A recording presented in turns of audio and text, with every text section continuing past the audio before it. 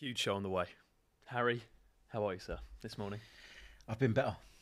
I've been better. What do you want me to say? Um, As nightmares go, is that right up there? Unai Emery, Emi Uh, Martinez, Just straight into it. Aston yeah, yeah, just, just straight in. yeah, just just start throwing darts at me straight away before we've even got going. Do you know what? There was a few people that messaged me last night. I'm not saying, obviously, I'm big time or anything, but a couple of that saying, just make sure Harry knows about Emi Martinez and Unai Emery. So I thought I'd get out of the way straight away, Harry. Listen, we'll get into it. We'll get into The it. chat, the chat. Congratulations to Aston Villa. We'll get into it. Yeah. Olly Clink, Jacob Culshaw, Harry Symeou, Scott Saunders. Ollie, it's so lovely to see you again, mate. Um, we've gone from a brick wall with you, as we have with Scott, Harry, and myself. I to- thought I was like a metaphor. Yeah. there, at the back. yeah. um, how are you, sir? I've It's had lovely an. to see you. I mean, I feel bad for Harry, but I had an amazing weekend. Uh, you? Newcastle battered Spurs. West Ham lost. Man United drew. Sorry, Scott. Um, and then I backed the winner of the Grand National and the winner of the Masters. Goodness What a me. weekend! Wow. There's nothing to be said So you're, about you Harry. are a betting man. Yeah, absolutely. Yeah, yeah.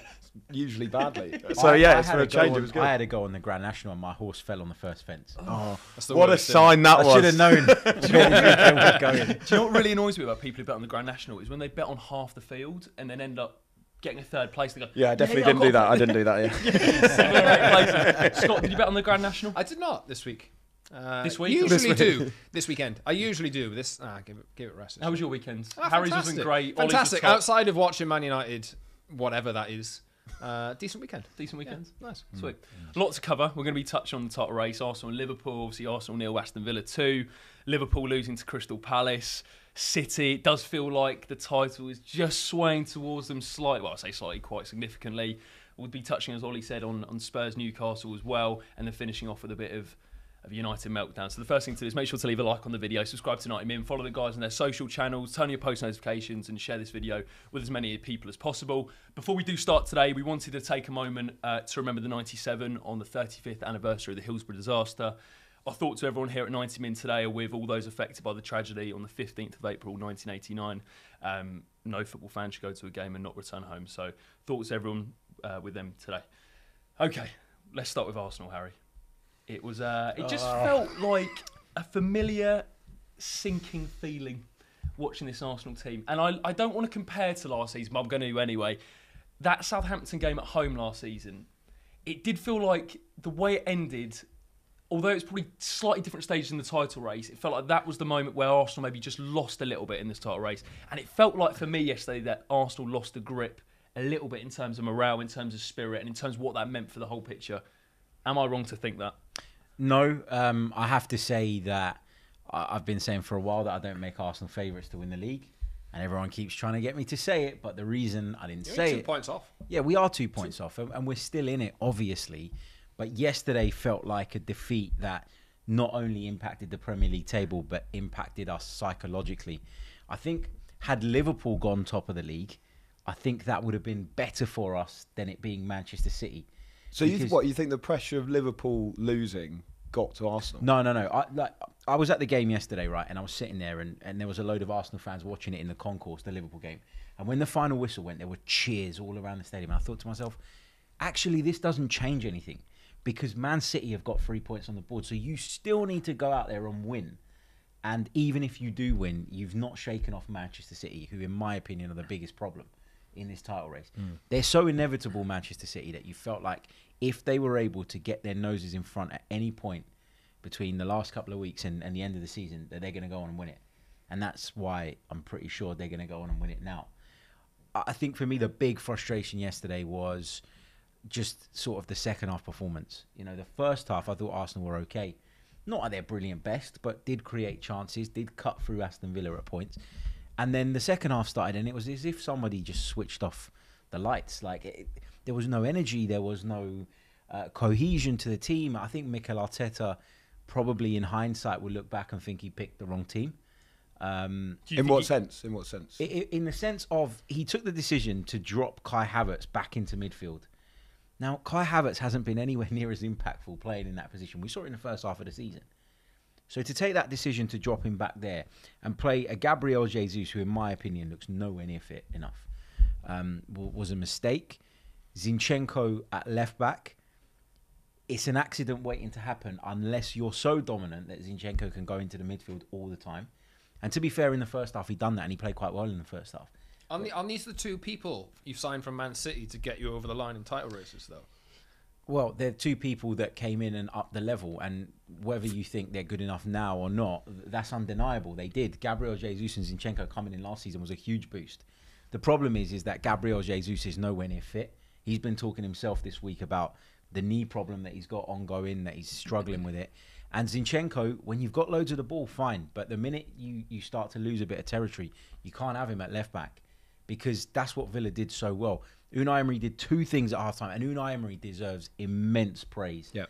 after that yesterday because what he did was suss out where Arsenal's weaknesses were and how Arsenal were causing his team problems, and he took steps way before Mikel Arteta to try and change the course of the game, and it worked. How painful was that to say? Just sorry about Come on, Listen. Talk to us. Open up. Listen, I've always said that Unai Emery is a good manager. He just wasn't the right fit for Arsenal. And I still believe that Unai Emery as a manager has a ceiling. And at Aston Villa, his ceiling is more than good enough. Hmm. That's the difference. At Arsenal, it wasn't. But he he realised in the first half that Arsenal were cutting through those sort of what what was happening was the distance between Villa's midfield and defence was too big. And so when Arsenal were getting the ball back, Zinchenko especially, who's very good at doing this, was popping the ball through the lines, and then Odegaard would get it and turn and charge at the Villa defence. And then you've got Saka coming up on your right, Trossard on your left, Havertz coming um, through the middle as well. There were options there because Arsenal were cutting through those spaces. Emery realised that. And if you look at the average positions of the Villa team in the first half versus the second half, the distances between each of their lines were significantly smaller. And that was the difference. And then he also took the decision to say to Moussa Diaby, who had been quite defensive, I thought, in the first period at times, forget that. You're going to go and pin Zinchenko back now. Because if you pin Zinchenko back, then that stops Arsenal getting him into midfield and being that little bit more creative. So that's what he did. You make Alexander Zinchenko play left back, he's got a problem because he isn't a left back. Hmm. And, and and Villa was spot on with that. They were physically better, and considering they played on Thursday, you know that's incredible from them. They deserve so so much praise yesterday. But from an Arsenal point of view, you can't help but feel disappointed. We've had a super chat from from Sean. He says, I think it was less about Arsenal and Liverpool bottling it, and it was more about them running out of steam. Both teams looked tired and out of ideas. I just wanted to go back onto the Arteta Emery chat, and we will do a section on Aston Villa and Emery and how good a job he's he's doing this season. It looks like they've got a really strong chance of getting that fourth position, Scott. Was it a case of Emery outclassing Mikel Arteta yesterday? Yes, I think so.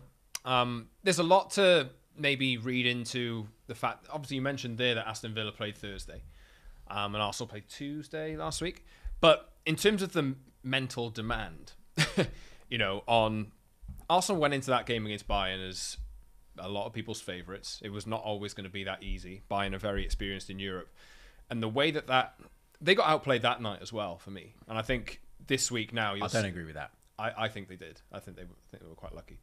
Um, but you know, Arsenal have when you have that um, that a small squad of players and you you go into a Champions League game, which is just a massive deal for you, and you're trying to balance that and the Premier League alongside it when you're challenging for your first title in 20 years. It's a lot to deal with mentally uh, as well as physically, and you can criticize him for the changes that he made, but uh, if you're at the top and trying to compete in two, two competitions, you've got to expect that your players who are coming in from the bench are able to do the job to keep the level up. So I think Emery bided his time. I think he looked at what was happening in the game, made the right changes, and Aston Villa turned it up. And I feel like they hit the post twice, remember, mm. as well. I know Arsenal had their own chances, but Villa had a, a fair few good chances. And Emery has proven over a number of years, regardless of the clubs he's working with, that he can always upset the odds. And I feel like he's got good experience and manager of the season for me. I think that's the one thing you said about that Leon Bailey goal, Ollie. It felt like it was coming for half an hour in that second half, really. Yeah. Um, I guess the big question, and people will say it's brutal because Arsenal have been excellent over the course of this season, and by no means is the title race done, even though I think some people might think it is, even that two point gap. And we've all seen this movie before with Manchester City where they just go on and, and get the job done. But it goes back maybe to what we've seen last season and maybe what we've seen this season. When things got big, did Arsenal shrink, in your opinion? It's just so tough, isn't it? Because they are coming up. it was all a bit Arsenal-y, wasn't it? Wait, Um, we do have to. no, Harry, it's almost the elephant in the room, isn't it? In terms, sorry, Ollie. no, I was just going to say, I understand what you're saying there, but it's so tough when you're coming up against perfection in Manchester City. Even when they've had difficult moments this season, the way they react. What is it now? Something like 27 games unbeaten in all competitions as well. They're so so difficult to, to move as, as a as a mountain of a club. So it, it, it is tough though because I was at, I remember being at Arsenal Brighton actually. Everyone talks about that Southampton game, but that was the proper day where it was all over pretty much for, for Arsenal, and I felt like yes, that game against Aston Villa felt a bit more like that, where even the Emirates, you know, was completely deflated by the end. They realised that this title race, even though there's still only two points in it, it's just so difficult when you're coming up against Manchester City. Is it fair to say that it's Arsenal's fault for being up against such unbelievable opponents? It's so difficult to win the Premier League. I'm just trying to cheer up Harry, to be honest. but know what, though, I, I don't quite think it's fair to look at Arsenal and say this is a team that always bottles it in the in the in the big moments. No, very true. I mean, the thing is though, Harry, if I'm thinking of sort of trends from the Bayern game and I'm thinking of trends from the Aston Villa game, The Bayern game that Arsenal didn't lose. Bayern game that Arsenal didn't lose. But we're not, we're not was- talking about were- the result. We're People not- expected Arsenal to beat Bayern in the week. but I, I don't think it, it's it's not the fact that it But was. isn't that a sign of where Arsenal have been over the last year that Oh, people uh, but- expect? yeah, for sure. But when it matters, could they get the job done? And may, maybe Well, they got a to two- Munich and win. Maybe they do. It's half time in that tie. Like if Arsenal lose the tie, by all means pile in on them for for Bayern. But to pile in on them about Bayern when it's half time in the tie is ridiculous. My point wasn't about the result, Harry. It was more about the patterns from the Bayern game, the Aston Villa game, even when you go back to the West Ham game at, her, home earlier on in the season. Teams sitting deeper and playing on the break, and Arsenal have failed to deal with that tactic on a Uh, few occasions this season, You're Harry. jumping to a conclusion based on one result. I'm not one result, you, no, but it is because if you look at 2024, Arsenal have played 12 league games, won 10, drawn one, lost one. That's an incredible return. That's an It is, but at- unbelievable at, the- return. At the point in the season when it matters most. No, but it's but this is the point. You're making it a big because of the point of the season it's at. You're making it into a massive deal. When uh, if Arsenal go and lose the next game, if they go and drop points against Wolves, then we can start having the chat about have the wheels come off at the business end of the season. You can't do that off the back of a one-off result. Mm. Is my point. That is disrespectful to the progress that Arsenal have made over the last two years. I don't mind people saying they were crap on the day because they were. I don't mind people saying that defensively they've lost their way a little bit. I have no issue with that whatsoever. But it's such a lazy narrative. Bottled it, bottled it. Anytime someone drops points in football, they've bottled it. Apparently, But Harry, I, I, I haven't I haven't said Arsenal bottled it. All you I'm said saying, they shrunk. No, no. it's The So question you're, you're no, no, suggesting. Whoa, whoa, whoa, Harry, you're Harry, su- Harry. no, no, no. You, s- you, It was you- the question to Who Ollie. used the word shrink? Yeah, it was a question Right, to, so, Ollie. uh, It was so a question to it. Ollie if, if they did in that moment. If they did in that moment. All I was saying was there were trends in three games this season: West Ham at home, Bayern in the Champions League, and Aston Villa yesterday, where teams have sat deep, played in the break, and Arsenal have struggled to deal with that tactic. That is a fact. I did feel during that game that when it got to half time at nil nil, and I thought Arsenal were way too scruffy in a way and in front of goal as well. But I felt the fact that they hadn't got themselves in front was a problem in that game. And and does, I don't know if that does say a lot about what you've just said there. That when Arsenal struggled to break a team down, I just felt like you said it was inevitable in the end that Aston Villa were going to take the lead. it was when as soon as Villa took the lead, you didn't think Arsenal were going to get back into it. You thought Villa Mm. would get a second, and that's Neither what did for their fans. Watkins. Yeah, what do we what do we think? I, I thought honestly, Jakey, to leave at 2 0 or whenever they started leaving, I looked at the clock. It was like 94, 95 minutes, and the stadium was half empty. After, as Harry points out rightly, Arsenal's season has been absolutely fantastic in terms of the the fact that they've put themselves in a position where they're in a title race, and the one time in the league that you disappoint, your players disappoint, you're not there to back them. It's uh, to me that's really poor, really, really poor. Harry, you're probably the best person to I speak agree on with this. that. I agree with that. I, I didn't like that. I hated the fact that I was looking up and seeing the far side of the stadium where you know when you it's right in front of you, it's difficult to tell how many people have left. But when you look across mm. at the other side, you can really see it. Yeah, I was disappointed in that, and I thought that was a bit of a letdown considering that this team have been as good as they have been this season. Like back your team a little bit. I hate Yeah. that. It, it, it doesn't make Right. sense. You, you see the Chelsea Man United game the other day where they scored in the what, like hundred and well hundredth minute, 99th, just before that as well. Stay to the end because you don't know what's going to happen with this added time Also, with everything that's going on. 94th minute. If Arsenal go and get a goal from a corner or something Exactly. like that, you've got another three minutes to And there was eight minutes of added yeah time. to potentially get back in it and like you know in that situation, a big roar from the crowd can mean that things can turn around. We've had a super chat from Nachi Ket. Thanks so much, mate. Uh, four and a half seasons and one FA Cup. If not this season, then when will this Arsenal team win anything significant? Seven hundred million pounds spent and nothing to show for it. Again, I don't know, Harry, if you have a response to, to that super chat from Nachi just throwing out nonsense numbers um, out of nowhere and just coming up with, oh yeah, they've only won one FA Cup. Sorry, we're back in the Champions League for the first time, and we're in the quarterfinals, and we're going to Munich on Wednesday, and could potentially book ourselves a place. If Arsenal finished second this year and got to the Champions League semi-final, that would be a better season than last season. So that would show that they've moved forward again. You, this idea that you can just come in out of nowhere and topple Manchester City is mad. How many league titles has Jurgen Klopp won? There's a reason for that. We'll Because onto that. There's a reason for that. because Manchester City are an incredible side. Now, I'm not going to be that guy that sits there and goes, Manchester City are this and Manchester City are that. Let the let the investigation happen. Whatever happens, happens, right? But that is a big asterisk next to their name as well, and and we can't completely brush that under the carpet. So look, I, we were poor yesterday. The second half was really really disappointing. I did think Mikel Arteta probably got it wrong. I thought the decision to change the midfield is ultimately what cost us because we lost that battle, especially in the second half. And after the second half started, Villa was were growing in confidence with every passing minute, and you could see that. I agree with you guys that it felt like Villa were more likely to get the winner. They were well on top.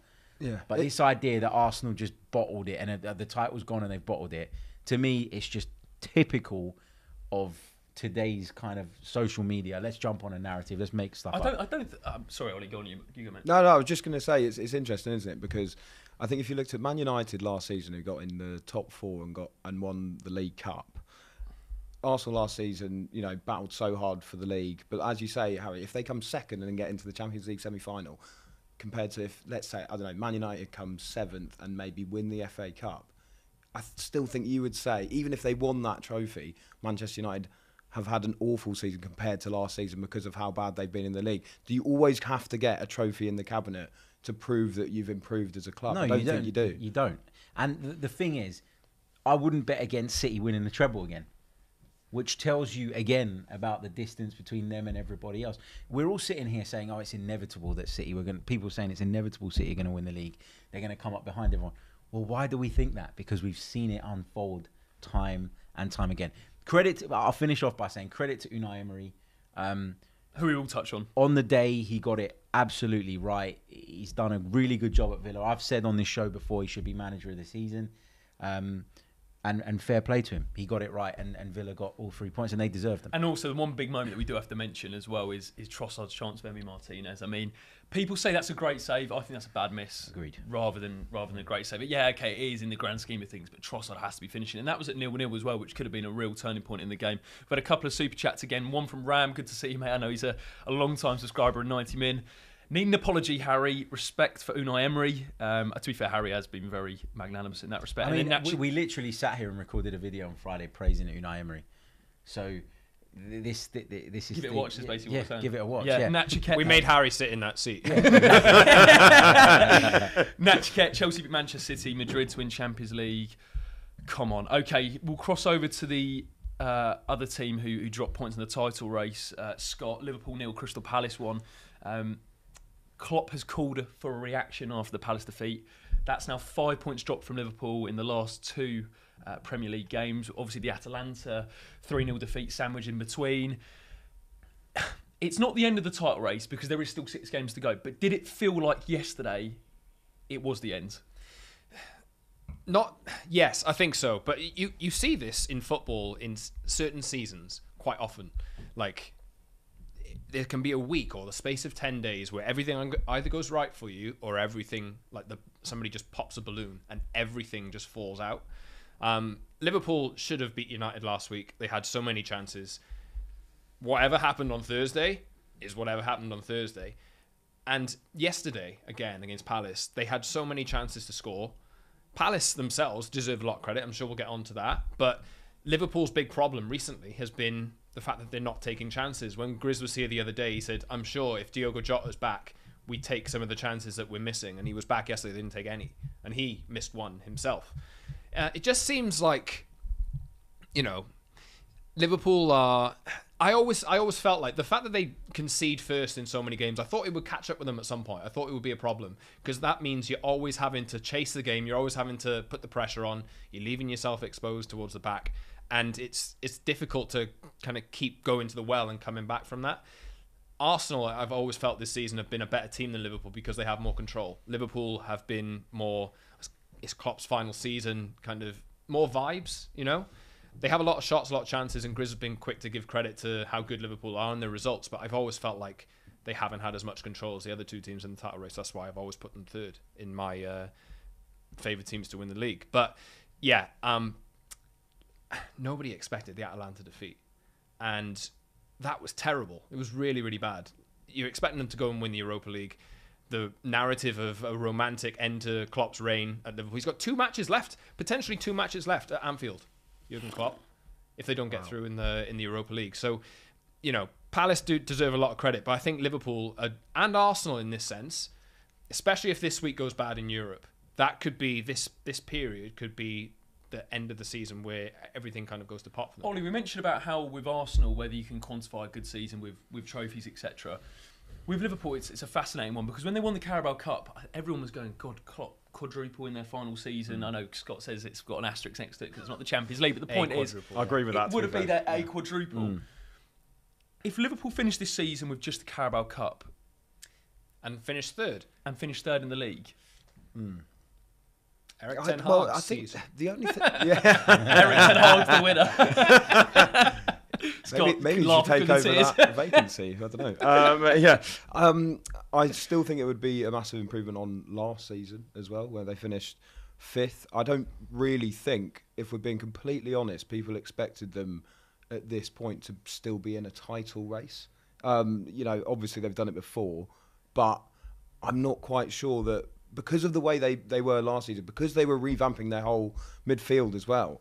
I think it's it's pretty impressive that they're in this conversation anyway, and they are still in it as well. But I do agree with Scott. In you know, he said that their big issue is is not finishing chances, and of course it is. But actually, I think it's the fact that they've I think they've gone behind in 18 games this season, and at some point that wasn't going to be sustainable, and they just found out that you know Crystal Palace put in an unbelievable defensive display, and because of that, not finishing chances have caught up with them as well you know that's where they've been been found out. But is it a poor season for Liverpool? Well, they've, they've got a trophy in, in the cabinet.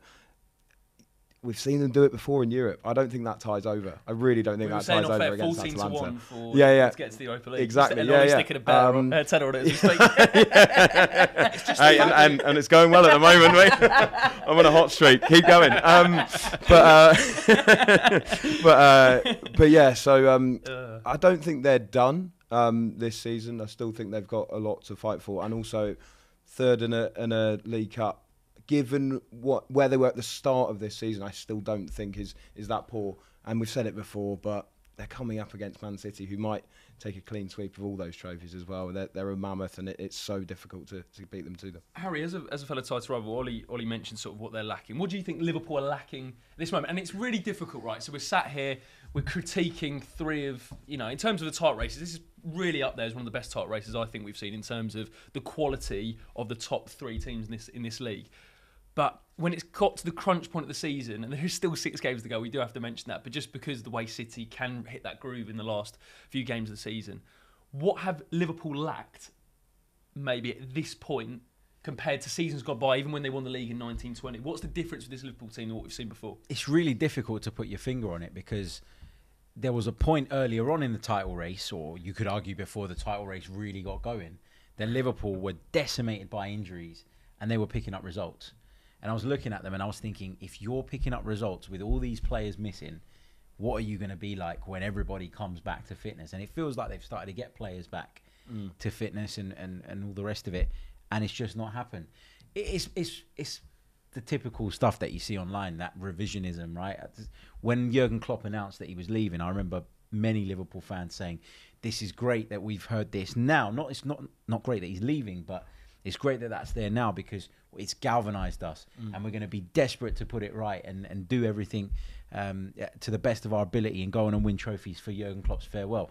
And yesterday, I heard many Liverpool fans saying well, I can't believe he's announced that before the end of the season because it's unsettled everyone and it's derailed us. hold on a minute, which one is it? Which There's always, one is it? There's Like, always been the uh, oh well, we're out of the FA Cup now, so we can concentrate on Yeah. on Europe and, uh, but even and away- the Premier League, and now away- it's you know oh let's concentrate on the league. We've just lost three 0 in Europe, and now you're losing at home in the Premier League. I think I think To Mo, Palace. I think Mo Salah's been really poor recently, really poor, and I don't know where that's come from. Mm. And I think Mo Salah normally would be the difference maker in those games where Mm. it's decided by the finest of margins, and he's just not doing that at the minute. Uh, Bargen in the in the comment section says, "Jakey, Liverpool aren't clinical uh, in front of goal. They have the most shots on target, yet they're so so poor in terms of being clinical." MK says, "A stable back five: no Alisson, R- Robertson, Trent for a month, Konaté in and out, etc." That's a really really good point as well.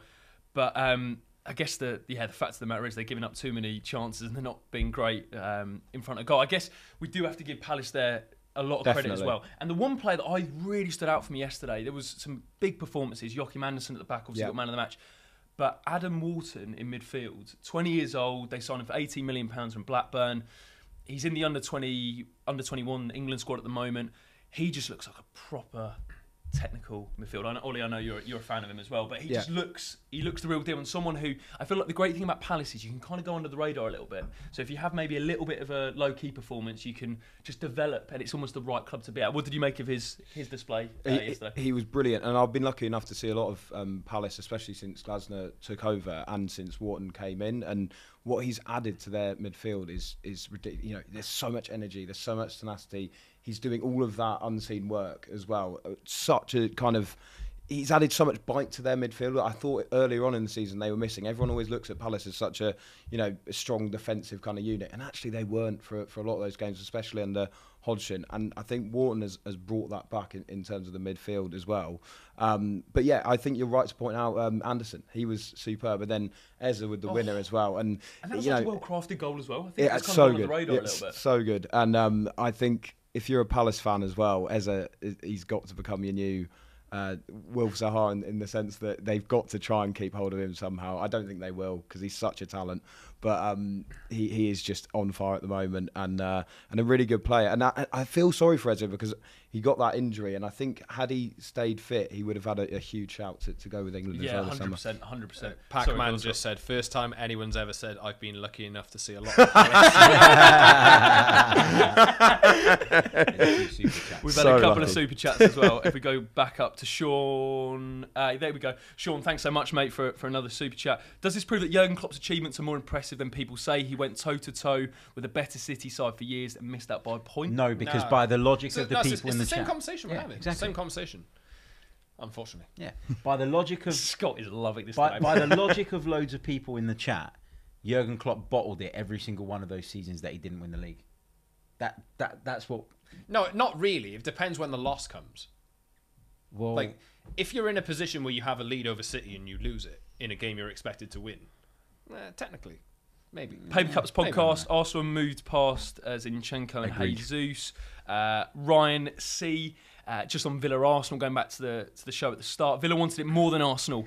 Don Emery got it tactically perfect. Arsenal expects us to roll over in the second half. McGinn and Tielemans bossed Rice, and we will. I've said it a couple of times. We will give Villa a section on the Champions League race in just a second. Harry, I know you want to Rogers in was there. really good as well for Villa. He doesn't. He didn't get a mention. I thought he was really good. Rogers, yeah, Morgan Yeah. Rogers. He was on loan at Middlesbrough this season. He's come back and, and been really good. In terms of the title picture, um, Scott, City go two points clear, obviously beating Luton 5 1. Um, two points ahead, six games left. City's running, we mentioned quite a few times in the show, is, is, is the easiest. I think the only obvious slip up is probably Spurs away. Out of the out of the teams, but you never that, know what you're getting out of Brighton away. Obviously, they've got an FA Cup semi final, which, you know, you don't know what you're getting out of Chelsea at the moment. Chelsea have uh, drawn with City twice this season. Am I right in the league? So, you know, you you're not saying that that one's a foregone conclusion. So potentially, City could walk in to a similar situation this week that Arsenal and Liverpool have just walked into. Maybe, but you'd expect uh, City to progress out of that. And then Brighton away is one of those where I think we usually see City go to Brighton and think, ooh, they could slip up there, and then they just end up. final day of the season a few years back. Yeah. They won like 4 0, didn't Yeah. they? 4 Something like. Um, Ollie, City are 12 games away from the unheard of double treble. And my question to you is where would that rank in terms of football achievements, in your opinion, It's with Pep Guardiola, with the City team? In Premier League history, is it is it right up there as one of the Oh, it has to be. It absolutely has to be. It, it has As to be the one of it has to be one of the greatest achievements in club football. Surely they're in one of the most competitive leagues, and that's been proven by the fact that it's a three-horse title race. Uh, the FA Cup. Let's not forget they've had some tough games, including their first one in the competition with Spurs away, where they famously had never won as well at that stadium. Uh, managed to beat them there, which is why I don't think they'll struggle in that game Yeah. in the league this season as well. Um, and then winning the Champions League twice, you know, in a row. That's that's hardly ever happened as well. So, I- think it's a- it's a staggering achievement. I mean, Harry uh, obviously pointed out the little asterisk as well um, that might be alongside it. And listen, they have an incredible amount of resources, um, but to still pull that off is unbelievable. I, uh, seriously, I, uh, as I said, I think that's one of the greatest achievements in, in club football. What a massive week it is for them, though, as well. They've got to go. Um, well, they've got to take on Real Madrid, uh, and then uh, they've got Chelsea in that in that cup. And I think this week's going to be where it is. Obviously, one one and lost. If they can win those two games, I can see them going on and, and winning it all again. Harry, is it psychologically now, from an Arsenal perspective, and we think of Liverpool, and and we and we mention about how Klopp's asking for a reaction now after the last week. I'm sure Arteta will be asking the same going into this Bayern second leg. Is that almost is it psychologically and mentally at this point in the season probably the result of Bayern people didn't expect to an extent. I think people thought Arsenal would go to the Allianz with the lead. We mentioned the Villa defeat, Palace defeat for Liverpool, Atalanta defeat for Liverpool is it more psychologically do you think now that's so tough in this title race to get pick yourself back up because we have seen City do it time after time after time at this point in the season when you look at the standards that City have set over the years in terms of the amount of games that you can get away with losing, minimal, um, you know, the amount of points that you can afford to drop, minimal, then you have to bounce back very quickly each and every time you face a setback. And I've always thought that the Champions League is going to have a big part on the title race because you can either get re-energized from a really positive result or it can drain you even further at a really crucial stage in the season. So I think it's imperative that Arsenal um, bounce back. I think for Liverpool, I don't think there's any expectation on them to get back in their Europa League tie. So I think if that kind of goes the way we think it's going to go and Atalanta are going to go through, then I don't think that has much impact. I think the damage for Liverpool in terms of European result and knock on effect on the Premier League, we've already seen that this weekend with Palace. So, yeah, I think the, the psychological element is massive here. And as I said earlier on, the fact that it's City that have climbed back to the top rather than Liverpool, although I look at it and it's two points and it's definitely not over with six games to go. And if you ask me in December, would I go into the last six games two points off of City and be happy with it? I'd have taken it. It's just the fact that it's them, and you look at them and you think you're gonna have to win all of your games, and you might not even win the league. Mm. Mm. And then it, it just, I, I said it the other week, right when we we talked about it. If Arsenal were to win their last six games, they'd have won.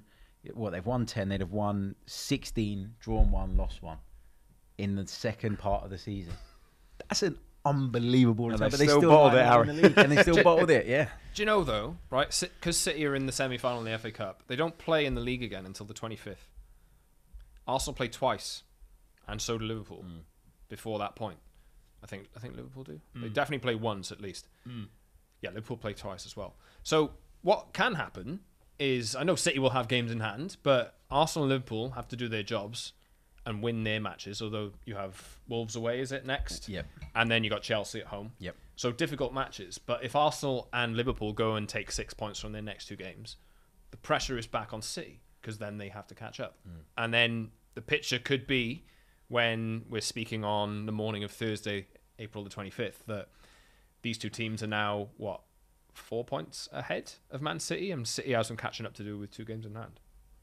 Ollie we Scott went uh, City Harry went City I actually went Arsenal at the start of the season your prediction at the start of the season your prediction now Uh, it was Man City, and um, now and now it is Man City. As well, yeah. something never I just it's it's like you've just said though. I just you know it's when they get to that that run in and and when they get to that. You know what? It's so funny because for so much of the start of the season, people were saying, um, "Oh, City always go on a run. They always go on a run," and I was getting a bit bored of it. I was a bit like, "Well, you- all right, they're they're very very good, but they've also you know they'd lost to Wolves. They they didn't quite look like the same Manchester City team that we'd seen last season, but." Yeah, they proved me wrong and right because I, I ju- you just knew they were going to kick on, and I, I just can't see them losing or dropping points in any of those last games. I don't think the running is is hard enough, and I see them beating Tottenham away as well and, and getting getting the job done. We've got a poll in the live chat. Shout out to producer Ben. Who? would- What would be the most impressive achievement? Manchester City's double treble, Real Madrid's three Champions Leagues, or Barca's 2009 sextuple. Tuple. Sex tuple.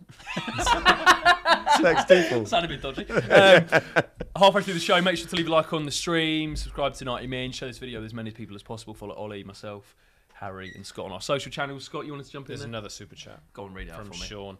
Jurgen Shout out to Klopp, Sean. Jurgen Klopp came second when he had lost one game, which was to City, finished on 97 points. That's not the same as losing during the running. Running. That's not bottling, Harry. I'd never said it was bottling. I'm saying that none of them are bottling. Mm. It's the people in the chat that are saying this team bottled it, that And it's team on our it. thumbnail.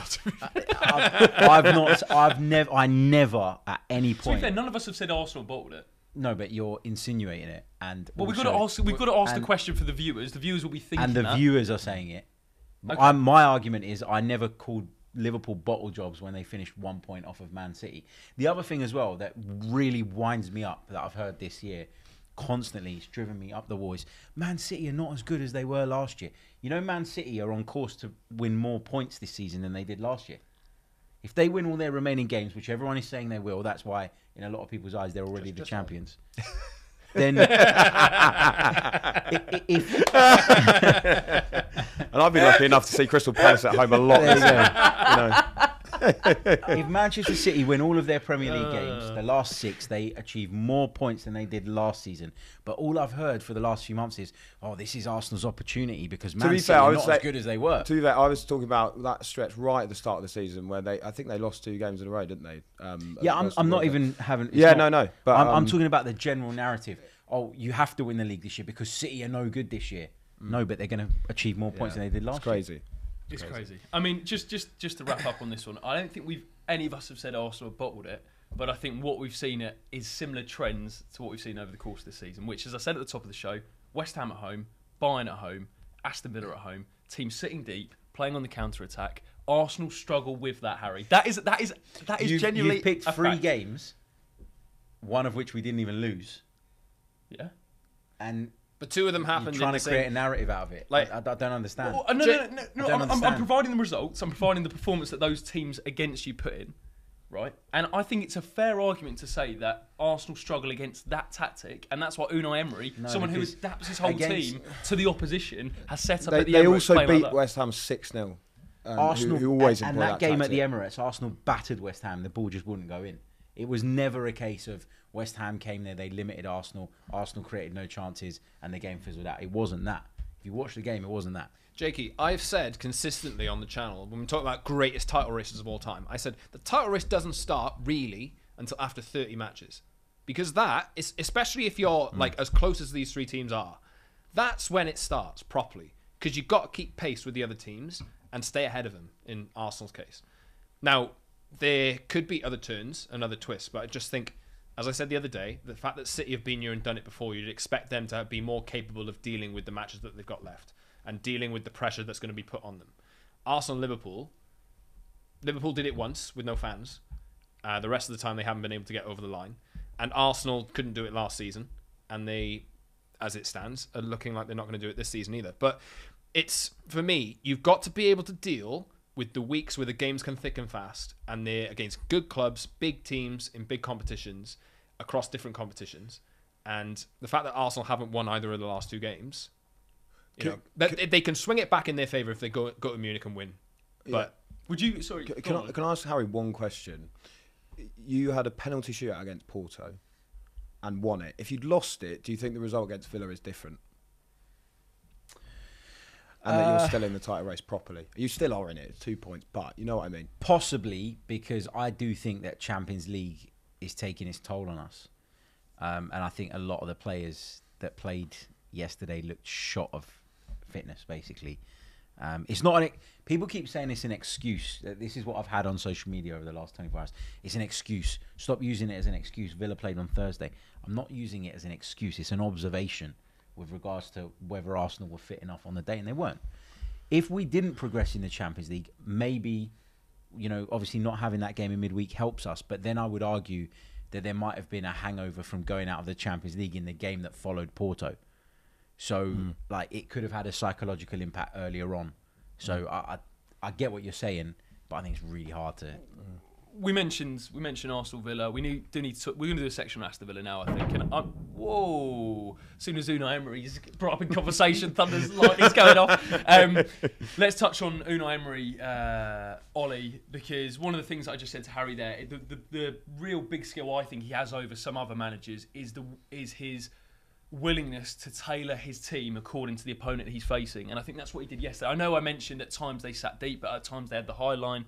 Carlos at the back, that allowed them to play Yeah. really high because he is so quick going the mm, other way. Mm, mm. And I think what you saw with Unai Emery is the way he adapts to the to the game situation.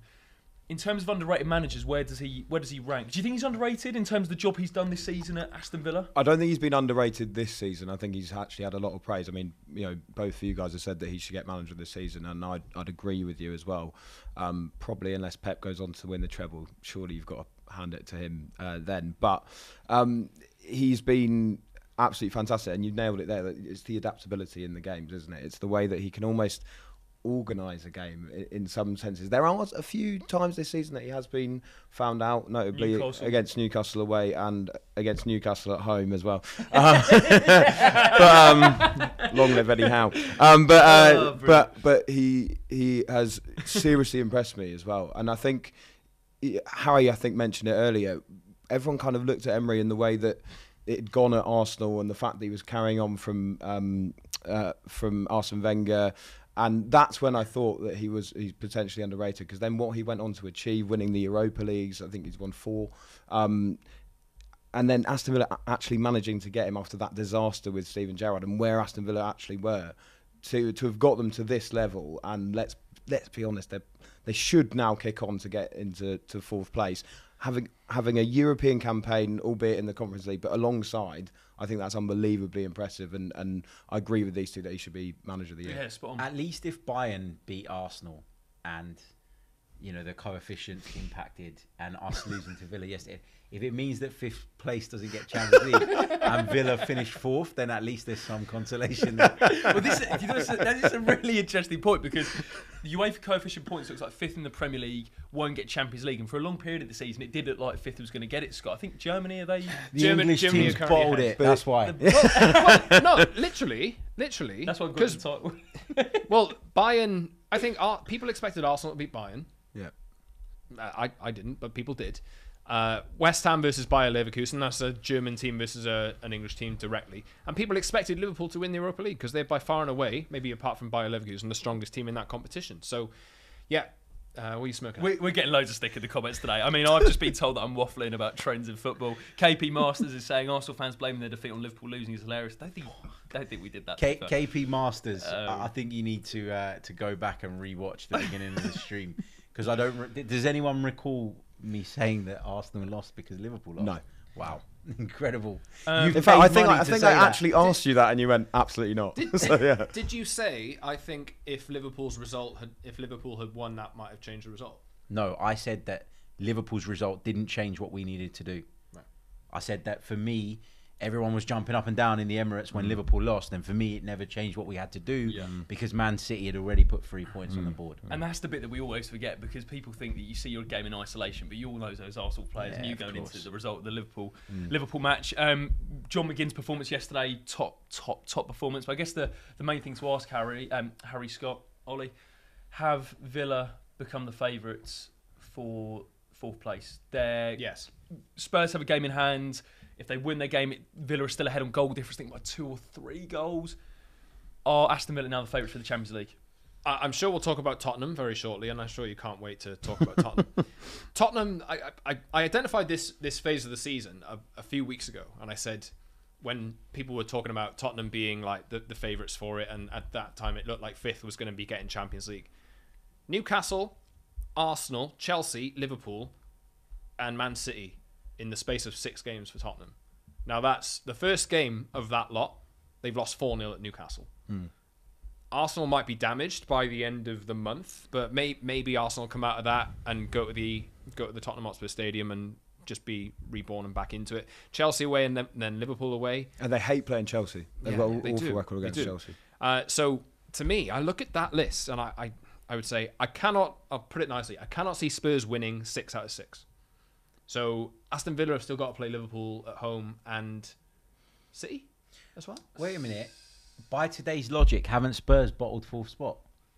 we are going to talk. Potentially, asking the Harry. We're, we're, we're not there yet. Just asking the question. We are going to talk. oh, they've got to play Chelsea. Aston Villa got to play Chelsea. Um, let's let's touch on uh, the Newcastle Spurs game because we, we we said going into this one, Spurs have an absolutely abysmal record at St James's Park. I think you look over the last couple of seasons, last day of the seasons, opening day of the seasons, any Yeah. game of the season, they just haven't got a great record there. Um, Ollie, as a Newcastle fan, what was so good about that Newcastle performance at the weekend from other performances you've seen this season? Oh, just so much, so much. You said we could just touch on it. Let's just do it for the rest of the show. uh, I, I was just.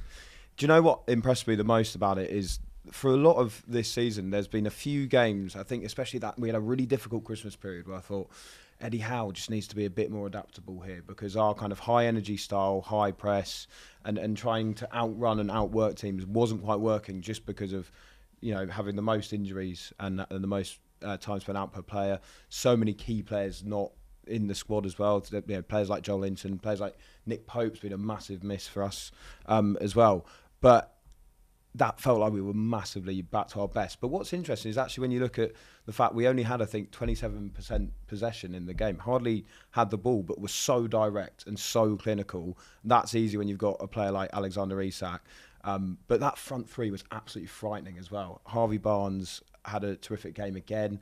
Anthony Gordon. And what I'm finding so impressive about this team at the moment is the fact that a lot of these players are, are pretty much just back from really lengthy injuries and they're still putting in incredible performances. Elliot Anderson, who actually I thought was man of the match, despite the fact that we won 4 0, he was incredible. Played as a, a, a number eight, but also was having to fill in.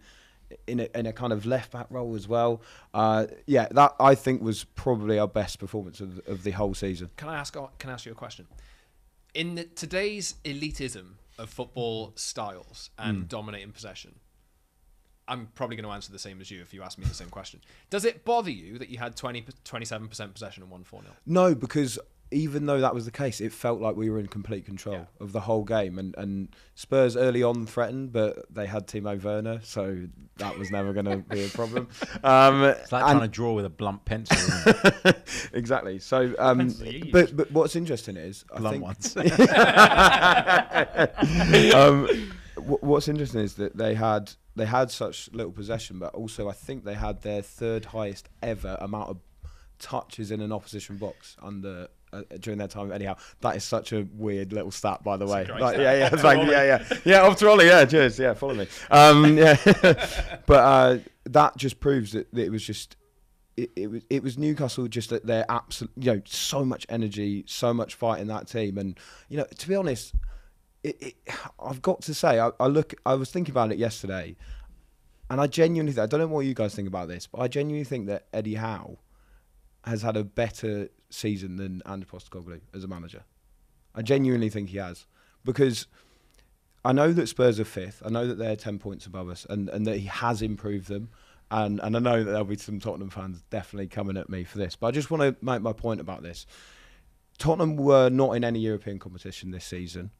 They went out in the first round of both cups. Fulham away was one of them, and then they played Man City in the FA Cup and lost that. And you might look at that and go, "Well, you know, they they, they took on Man City. They're, they're so difficult to beat."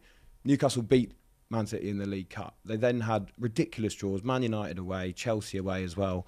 Um, they had horrendous draws in the FA Cup as well. They they took on Sunderland. They got to the quarterfinals of both those competitions. They had the hardest group in the Champions League, and because of a dodgy penalty decision, you know, actually should have at least finished third in that group for me. Um, away in Paris, the Livramento handball, and they are now sixth in the table. And you just mentioned Tottenham's fixtures, and if you've looked at Newcastle's fixtures, they're a lot more favourable.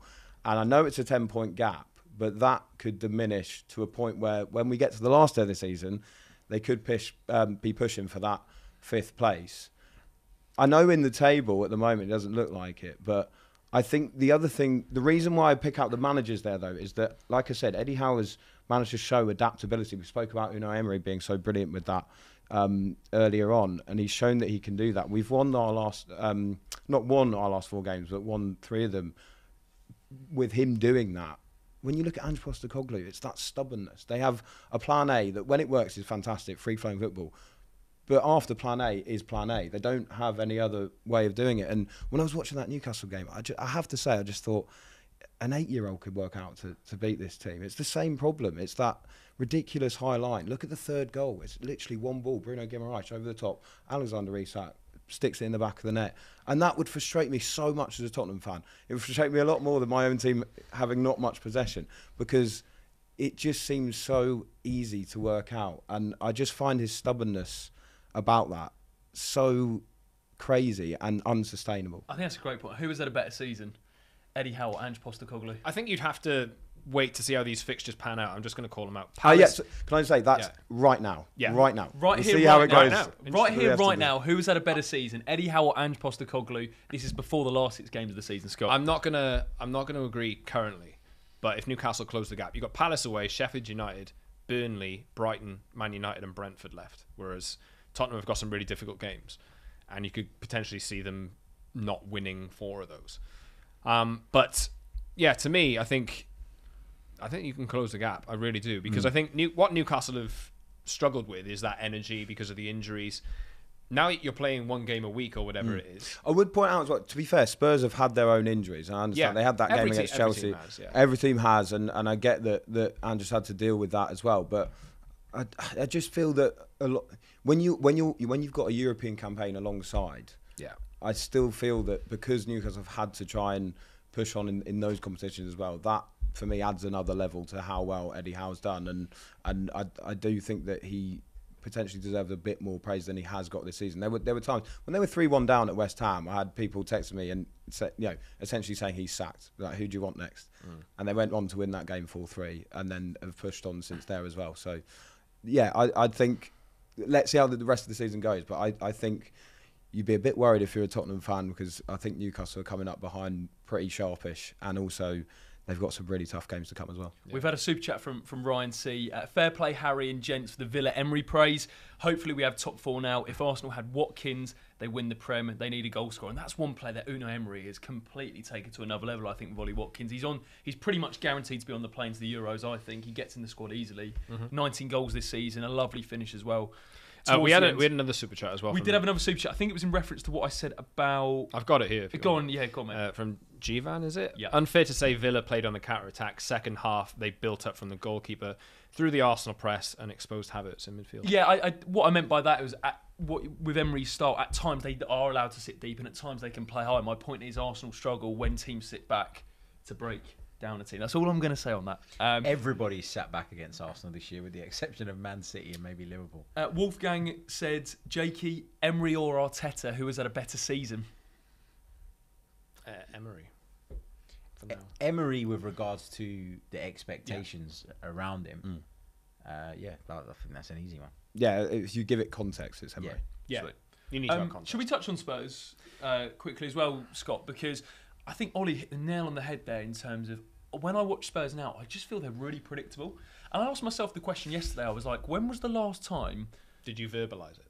Did you verbalise that question? I didn't say I was at the Tottenham Hotspur Stadium yesterday. I wasn't speaking to the Tottenham staff, going, "Yeah, you, you know what, you guys are really predictable to watch." Um, but I Can I did- just say, it's the first time I've seen Harry smile this afternoon. talking about Spurs losing. Talking about Spurs being Oh, bad. I the, the, the one thing you say about Spurs is, and I asked myself this question yesterday: when was the last time Spurs scored from outside the box? And, and, and I also asked myself the question: you do see very similar goals with Spurs. It's that typical wide players getting to the byline, cutting it back. There's patterns of play. There's a structures the way they want to play, but it can be very predictable, Scott. And Ange stated in his post-match after the Newcastle game that Spurs had a lack of bravery on the ball. I think one player that probably did that a little bit was James Madison. If we're, if we're being honest, he's someone who Spurs have to play through, and he mm. wasn't at his best at the weekend. he hasn't been for for a bit of time. He hasn't been, well. and I think my only problem with Spurs, Scott, well, just this season with this team, is I think if they play badly, they can't It's win. Bad. If, if you know what I mean, you know, there's Hmm. teams where they can grind out results. I think Emery's at Aston Villa can grind out a result even if they don't play particularly well. I don't think Spurs can do that. Number one, because they can't keep a clean sheet at the, at the moment, but also it can be predictable going forward. Is that harsh from my perspective? I don't think it's harsh. I think Spurs fans might tell you it's harsh because the Tottenham fans have looked at Ange Ball this season and have gone, yes, we finally have a style of football that we can get behind after years of Mourinho and Conte stinking out the place. To me, you need to be more adaptable than having one style. And I don't know, and obviously Spurs will need to improve their squad, but I don't know if there is another plan beneath this. So when it's good, it works. But like you say, I think they're quite predictable in the way that they score goals. But the more you go on, the more teams will figure it out in the Premier League. And I feel like if you catch on early in a game, like Newcastle did the other day, you can continually expose it.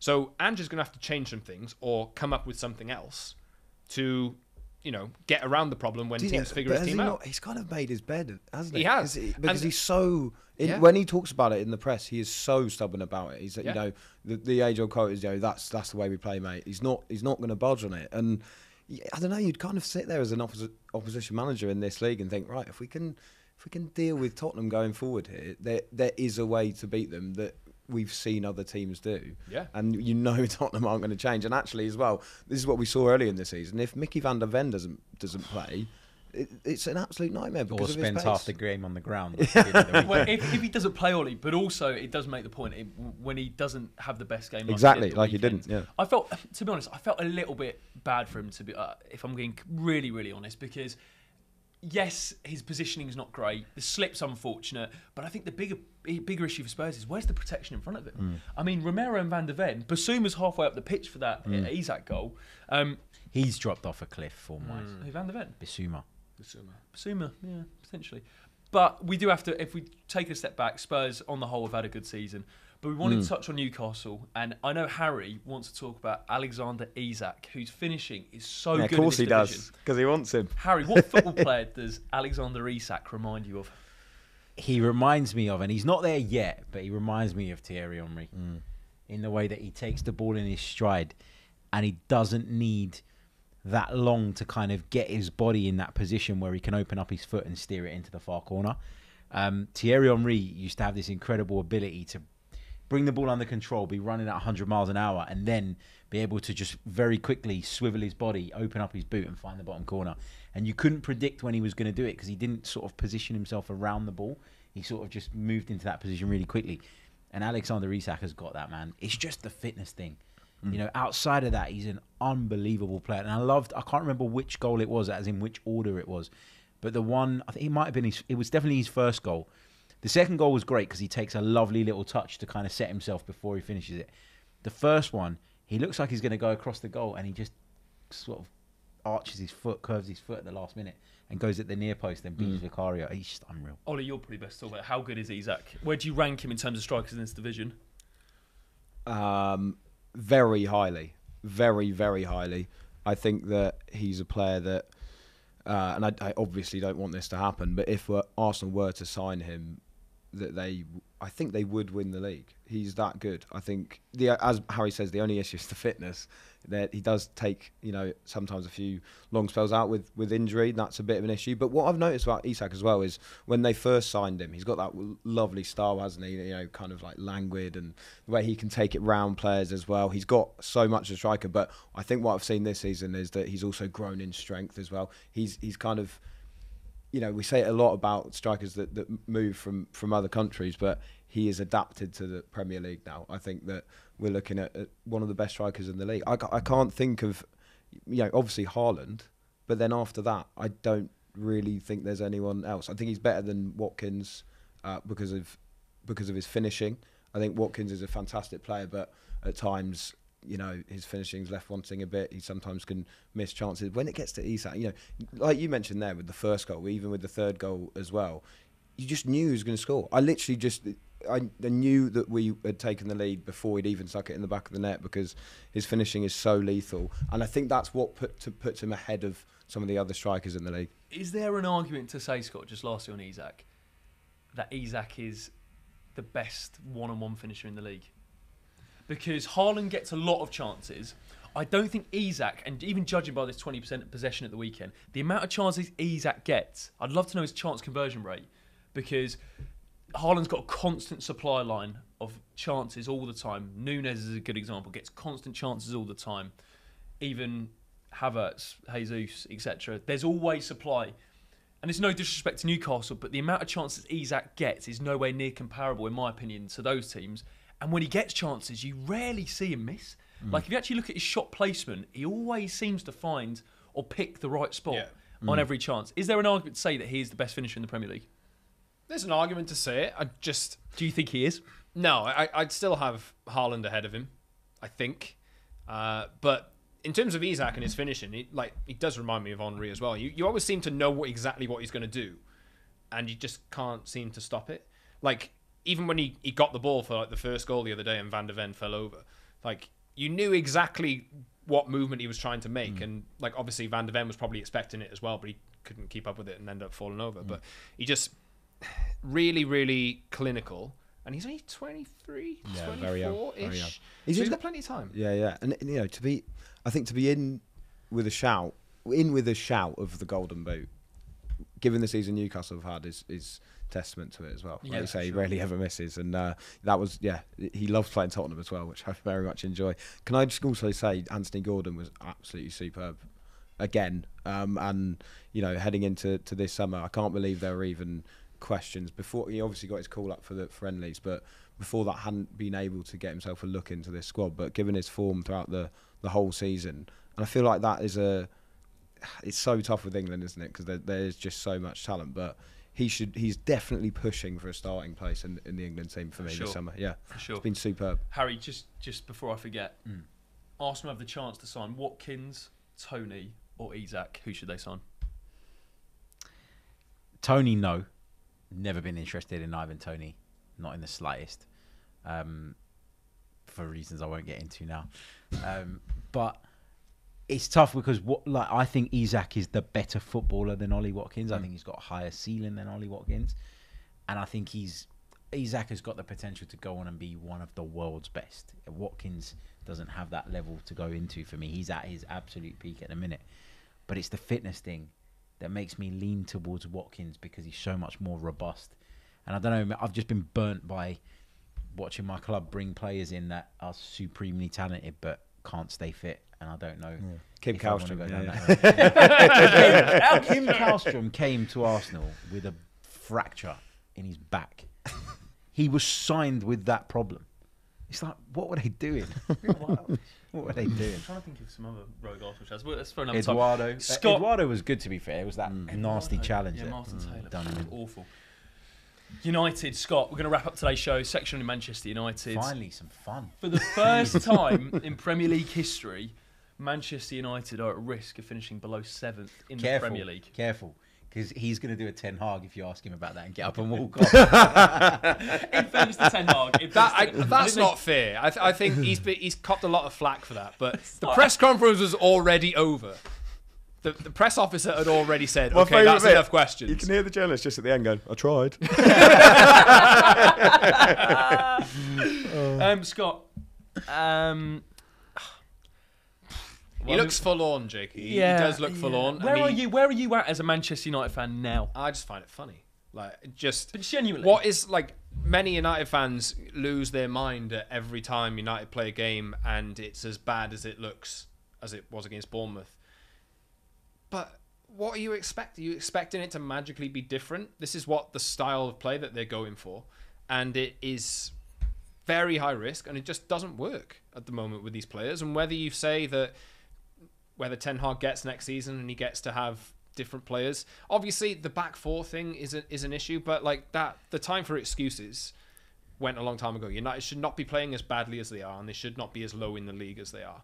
Um, Conference Scott, uh, Bajan Pops has been calling me Conference Scott for the entire show in the comments. maybe he wants a conference with us. well, no, I think it's, it's in reference to United going through, going through the Europa Conference League, or seventh or eighth or whatever that is. But yeah, they- they they are very much at risk because Newcastle are playing better at the moment. Newcastle got a decent run in, and they've gone above United now. Yeah, As uh, yeah, they have. Yeah, yeah, yeah. Chelsea are only six points behind with two games in hand. And Chelsea have had an awful season. So if they finish beneath Chelsea, good God, like that's terrible. And there's other Newcastle teams. have still got to play Man United away as well. Yeah. So yeah. that- so yeah. you know, United have got a run in, which is I think the, the entire season is really on the FA Cup. I put a poll out the other day Hmm. on my my Twitter whether people would prefer United qual- qualify for the Europa League or just nothing nothing in Europe at all. And I think the the larger part of the vote was for no European football at all. Uh, United need a big reset. Erik Ten Hag is trying to employ tactics which are just not working with the players that he's got, and whether they work in general, if, even if he has different players, remains to be seen. I think there's a lot of doubt over it. You smirking at me? You've always said Erik Ten Hag has not had a style, but Yeah. he does have a style. It's just It's just terrible. shit. That's a monetisation. Colin. Yeah, yeah. Thanks for coming.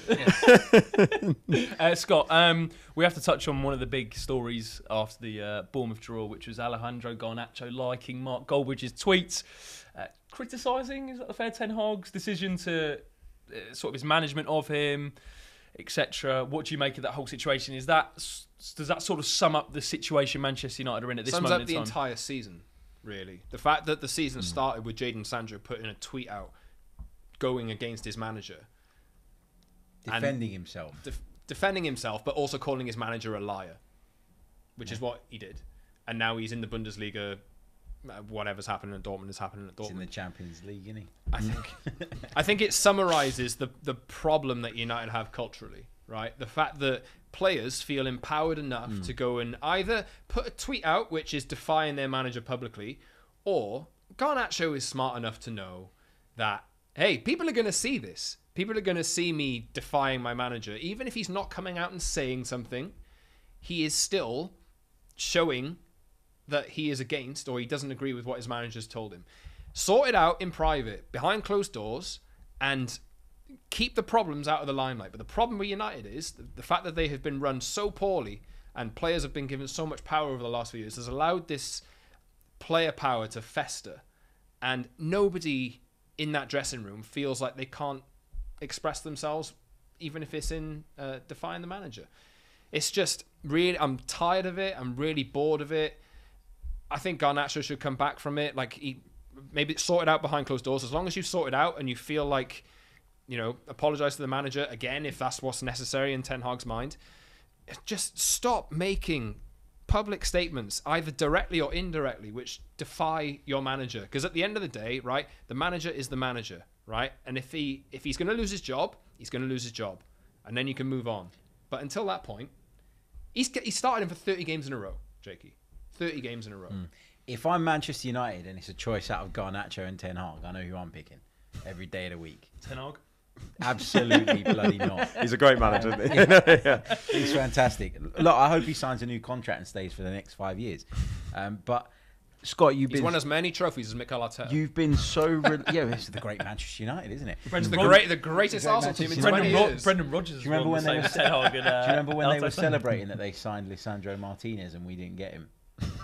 Yeah, he's, Do you he's remember been that? injured. I'd actually say, out of all the- to be fair, I actually think that's of all the signings, Harry, he's the one who's been off decent. They had to get one right. yeah, th- yeah. There's other examples, mate. Yeah, yeah. No, the point was Anthony. the point was that No. was that was one that we went yes. directly head to head for, and they were mm. celebrating the fact that he's mm. come to Man United over Arsenal and he spent the whole time on the sideline. But You don't a player's injury. Scott, you've been so reluctant to Oh, say Erik Ten yeah, Hag right. needs to be sacked. Even now, you're towing the party line and you're saying, "Oh, you know, this and that." And what is it going to take for you to sit here and say Erik Ten Hag needs to go? What is it going to take for Scott Saunders to get out his yellow and green scarf and sit here and say Erik Ten Hag's got to go? I, I- Yellow and green scarf. yeah, The Norwich because they're still there. Huh? The, the Glazers are still there. They're still there, but they're not in control of the footballing aspect of the club. well, they're in control of the football club because they still own the majority of it. This is what I've been saying look all into along. the fine print, Harry, the, pe- the people who are making these changes, they they have a new CEO, they have a new sporting director coming, and they have a new technical director coming, pro- possibly a new head of recruitment, which is what I've been saying all along needs to change. Yeah, but we've always said that. Yeah, they can give the football in control, but they still have financial control, and they will limit the football in operation by the fact that they're still going to take their dividends and they're still going to do what they do. So until they're gone, there's only so much that Jim Ratcliffe can do. I, I get that. What is it going to take for you? We'll go back to my question. Stop deflecting. Hey Harry, you What is tried. it gonna take for you, right? What is it going to take for you to sit here and say Erik Ten Hag should be sacked? Because I, if you finish below Chelsea, my God, hmm. like that is like that is Would you go as far to say that's catastrophic? absolutely. You could not defend that in any way, shape, or form. What is what has got to happen for you to go? Where have they got to finish? Has they got to like? What's got to happen for Harry, that point that isn't going to come up. I'm at the point now where I can't defend Erik Ten Hag anymore. So I'm not going to come out and defend the football that we're seeing, the fact that it is that bad, the fact that they could have their worst league finish of all time. There are so many circumstances around the manager which need to be addressed, and that will happen this summer. Whether Ineos feel like one of the alternative managers that are out there on the market at the moment can do a better job, and maybe they can.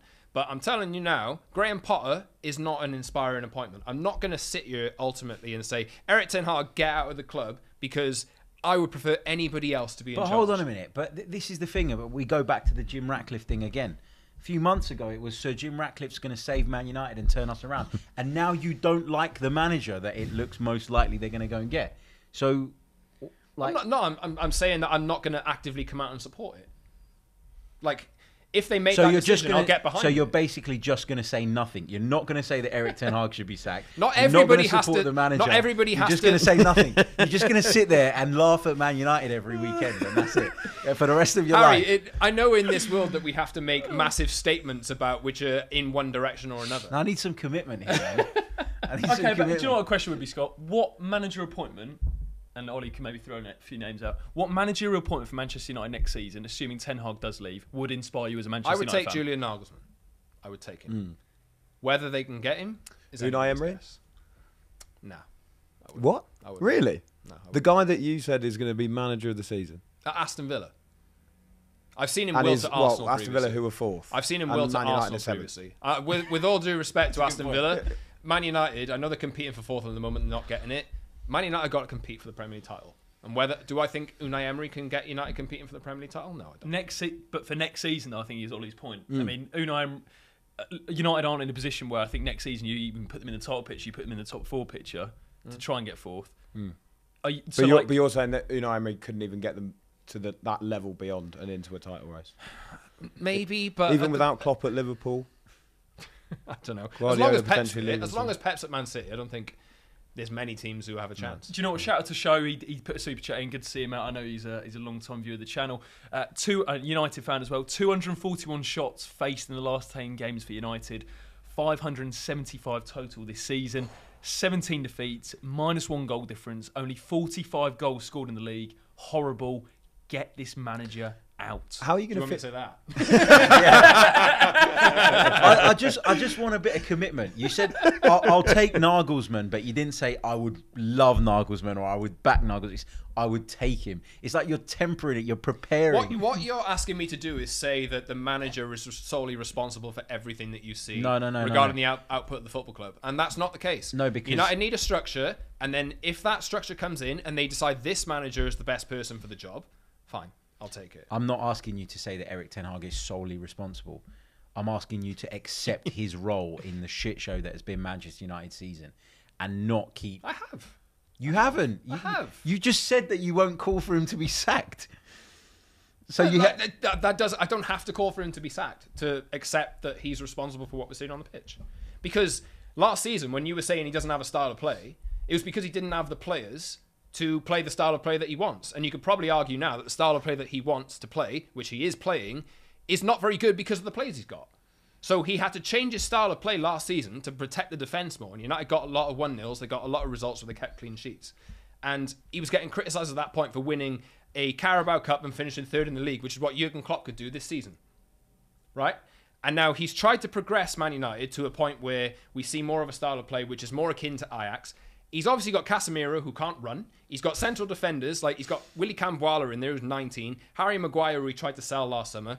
He doesn't have a left back either. So all of these factors play into the fact that he the style of play that you're seeing on the pitch is not very good. If you replace those players with actual players who can execute the style of play, maybe we see an upturn. Maybe. I can't guarantee that we will, but you know, I don't know where I'm going with this. There's a, lot, there's a lot of Fed sitting there, man. Rajesh CFC says Harry, how many? this is a real sidetrack.